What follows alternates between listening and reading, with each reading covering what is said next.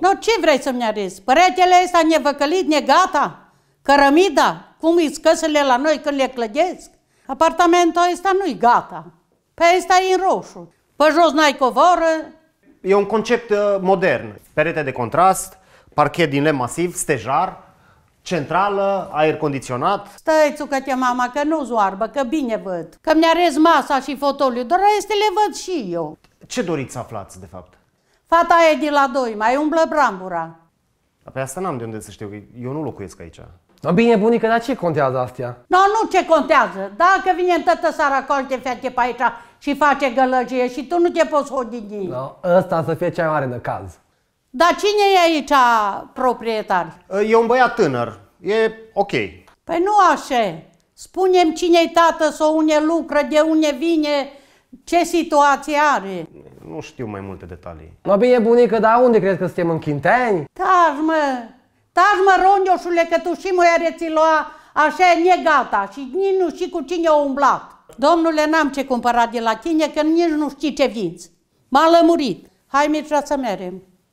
Dar n-ați, n-ați văzut nici balconul. Dar ce, să-l culc în balcon? Ce vrei? Uite, ăsta pare fain. Și îl vine direct proprietarul. Uite, vezi că scrie proprietar verificat. Foarte bine, dar acum trebuie să merem să-l verifice și baba. Haideți. Ăsta e apartamentul, are 65 de metri pătrați. Alo, omule. Dar prezintă-te, nu ne repeză ca din oală. Să știu la cine am venit la apartament.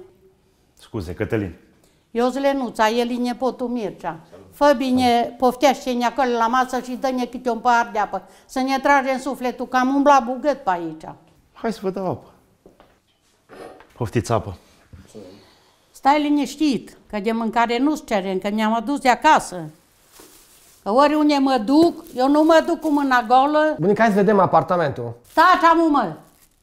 Du-te și cotă două farfurii și să-ți dau o plăcintă până e caldă. Mă, da mâncă încet, că nu ți-o fură nimeni, mă. Sunt foarte bune. Eu de când eram mic și mergeam la bunici, am mai mâncat așa bune.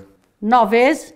No, când ai două ceasuri libere, dai o fugă până în chin tău și îți fac plăcinte. Pe cum să vin la dumneavoastră? Acasă ar fi culmea.